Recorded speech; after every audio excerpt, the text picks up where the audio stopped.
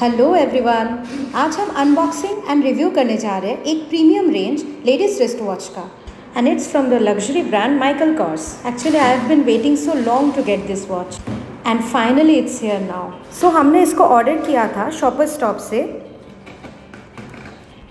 हालाँकि आप लोग को पता है कि कोई भी प्रीमियम ब्रांडेड चीज़ होता है तो मुझे लगता है कि हमें स्टोर में जाके लेना चाहिए बिकॉज़ ऑफ़ इट्स ऑथेंटिसिटी क्योंकि ऑनलाइन में थोड़ा सा डाउट रहता है। बट इन दिस केस हम लोग शॉपर स्टॉप गए थे और वहाँ पे माइकल कॉर्स का प्रोडक्ट अवेलेबल नहीं था। बट दे टोल्ड अस कि हाँ ये आप शॉपर स्टॉप का ऑनलाइन ऐप जाएँगे तो वहाँ पे आपको मिल जाएगा। So it's a thank you note from Shopper Stop चलिए इसको अनबॉक्स करते हैं।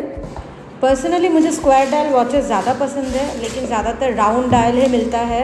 And thankfully I got this so I am feeling very excited कि कैसा आया होगा।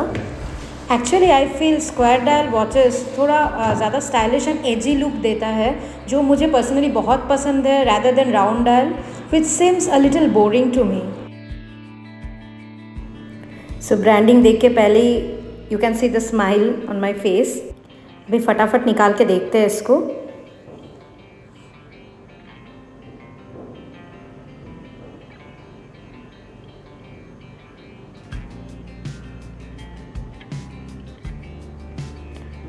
वाओ अमेजिंग इतना प्यारा रोज़ गोल्ड टोन का आया है इसका बेल्ट का कलर चेन का कलर आजकल फीमेल्स में मोस्टली मुझे लगता है कि प्योर गोल्डन टोन से ज़्यादा लोगों को आज आजकल रोज़ गोल्ड पसंद है.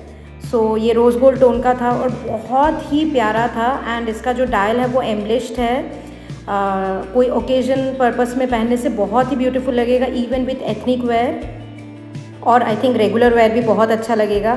इसका डायल वाइट है और ये एक एनालॉग वॉच है with quartz movement it cost me around seventeen thousand nine hundred ninety five so it's looking too pretty और इसका ब्रांडिंग भी किया हुआ है। uh, एक चेन में है और it's also having in its key